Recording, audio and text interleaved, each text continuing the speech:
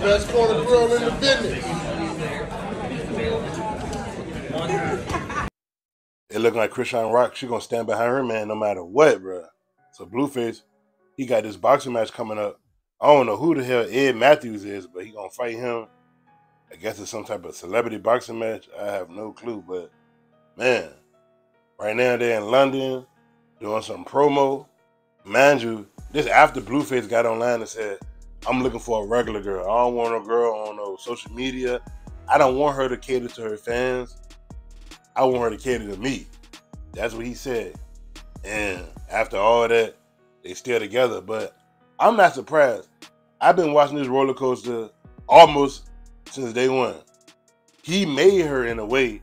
So I guess it's that sort of like Stockholm syndrome where it's like I fell in love with my abuser because he provided this life that I never had before. I really think that's what it is because if she was a smart woman, she would have left him because I'm not putting all the blame on him. I be seeing videos of her, she be going in. She got an anger problem. And he got a control issue. He's a narcissist. You know what I'm saying? They both insecure. So if she was smart, she would have been like, you know what? This is ruining me. I'm drinking too much. I can't sleep. I'm depressed. You're making me look like a clown. You don't respect me online. You just treat me like a disposable napkin. But nah, she take all the bullshit.